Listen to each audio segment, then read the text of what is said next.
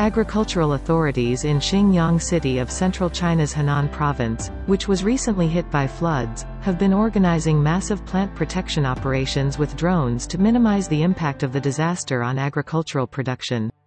The city's Agricultural Commission has arranged local agricultural companies to conduct pest and disease control operations with drones in disaster-stricken areas.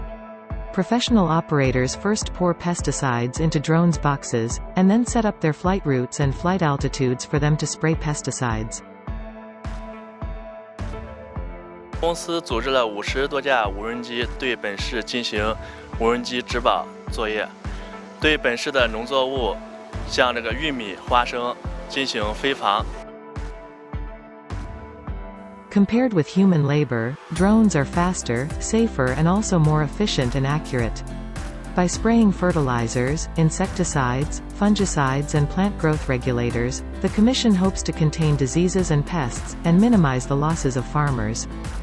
As the drones can cover 330 hectares a day, the task of spraying over 6,530 hectares is expected to be completed within this week.